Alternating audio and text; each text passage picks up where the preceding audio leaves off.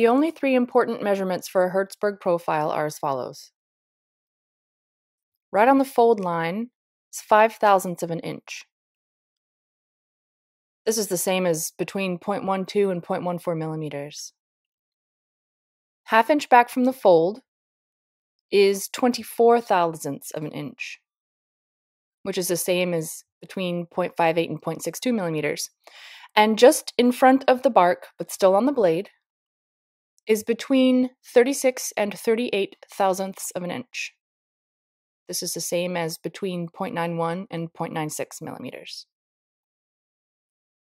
These measurements allow the cane to be as thin as possible to reduce scraping time and errors, but still accommodate different hardnesses of cane because good reeds can be made from both hard and soft cane. Any profiler will work as long as it is set up to provide continuous tapers from collar to tip and spine to rails. And there should be no pre carved channels or windows to interrupt the line of the taper.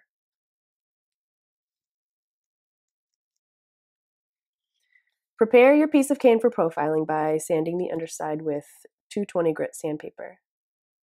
If you do this step after profiling, or even after the reed is clipped in between the blades, you're effectively thinning the profile, and this can be really problematic at the tip where it's already thin. So it might not be necessary on that reed, so we'll do this step first.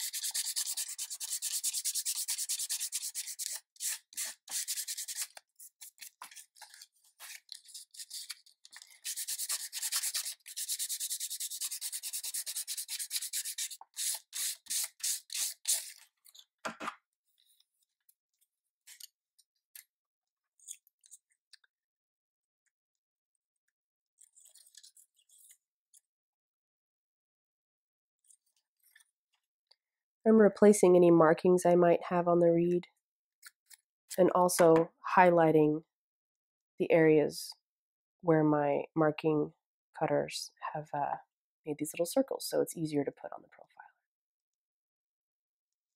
Now we're going to soak our cane.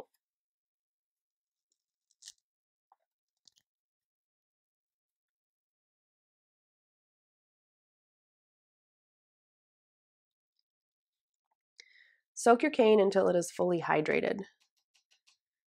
You can see that it is darkened all the way to the tip or the end of the reed on both sides. That means the vascular bundles are nice and full of water. Loosen the clamps and center the reed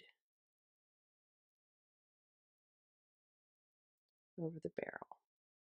I have a line etched into the middle that I need to line up my reed on. With this kind of profiler, most people profile first and then shape to be absolutely certain that they have that center line lined up.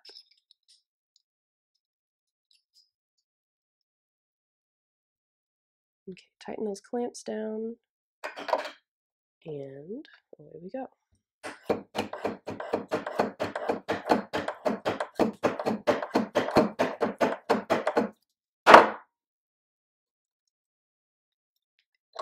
Notice I'm not cutting all the way down on my first pass because the blade will ride up on the other side and start leaving a huge chunk of cane here. So we are going to go back and forth, back and forth, back and forth, rotating the cam.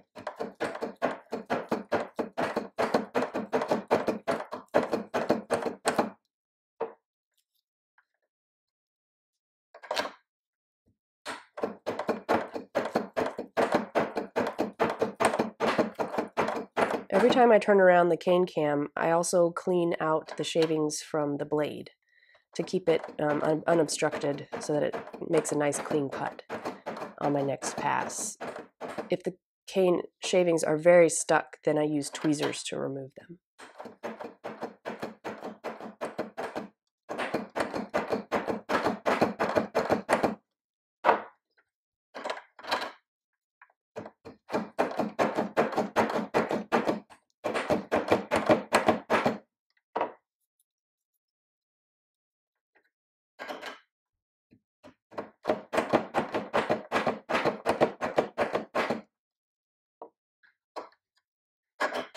On the last few passes, I'm really pushing firmly down. However, I'm not slamming the cutting block onto the cam. I don't want to split that piece of cane, but I do need to push very firmly to make sure that I'm getting a really even profile across.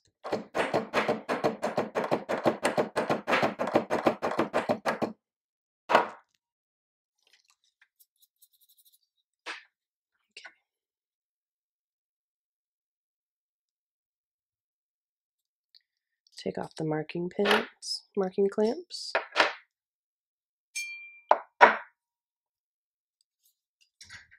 And there's your piece of cane.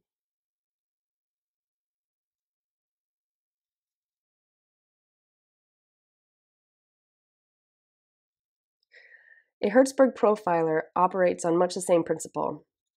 Got the cane clamps, this is the cane barrel, except I'm going to be able to line up these holes that were made by the marking pins on my shaper with the marking pins on my profile.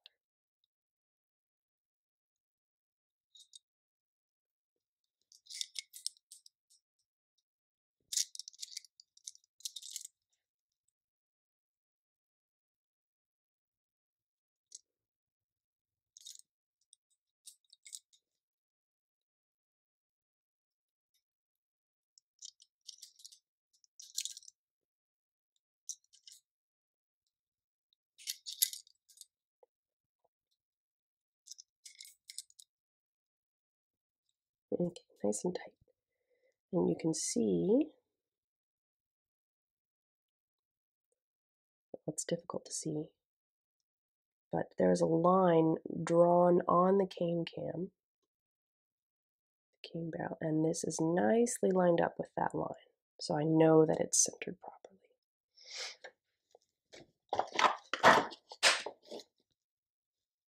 tighten my clamps a little bit, just a little turn. Okay.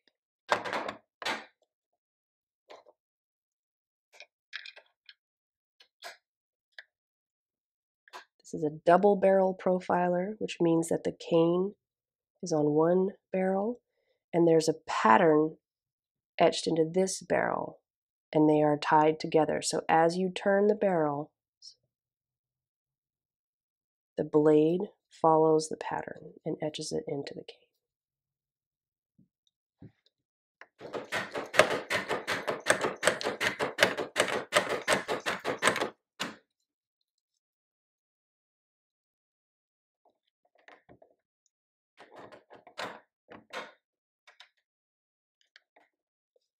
Again, I'm cutting only a little bit at a time.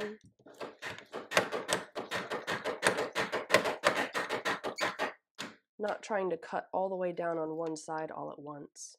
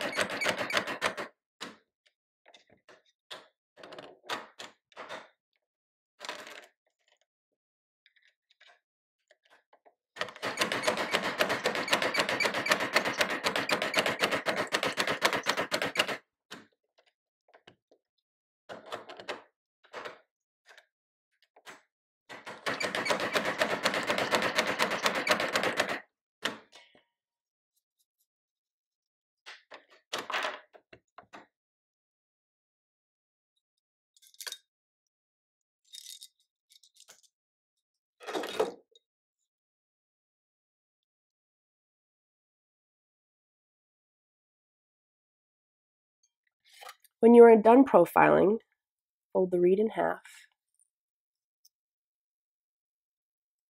Make sure that the collars are evenly aligned. And mark the base of the reed at 2 and 5 sixteenths of an inch.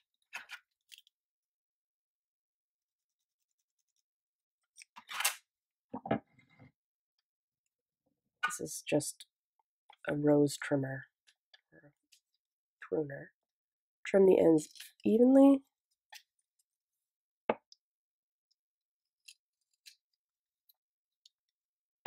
Then open up the reed and score the bark over an easel.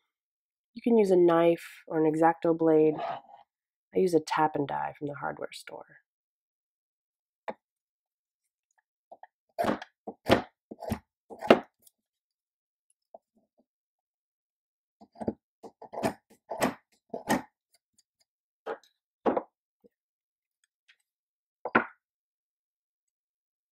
Now it is ready to let dry or make into a mummy.